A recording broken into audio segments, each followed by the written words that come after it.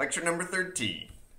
Announcements are that Homework 3 deadline was extended to Wednesday from Tuesday because of the power outages on campus.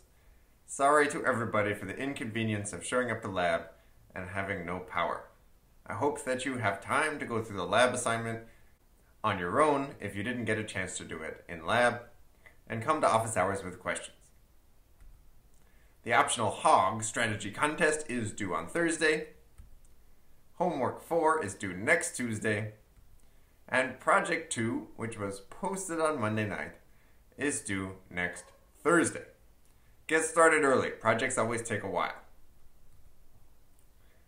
In order to make sure that you're keeping up with the class, we scheduled another Guerrilla section. Guerrilla section 2 will be held both Saturday and Sunday from 10 a.m. to 1 p.m. Remember, these are a chance for you to work through a worksheet with a group at a pace that makes sense for you. So instead of rushing through the material and not understanding it by the end, instead you'll wait until everybody in your group masters the material before you move on, which is a great way to learn. The topics will be data abstraction, sequences, and non-local assignment, which we'll talk about on Friday. You should RSVP on Piazza so that we know you're coming. That way we can make sure that we have enough rooms for everybody.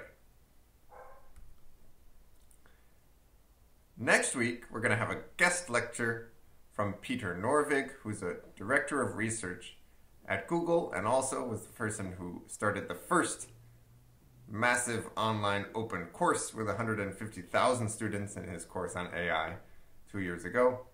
Uh, he's going to come in and tell you about natural language processing in Python. He's a great educator, someone I've learned a lot from over the years, so I recommend that.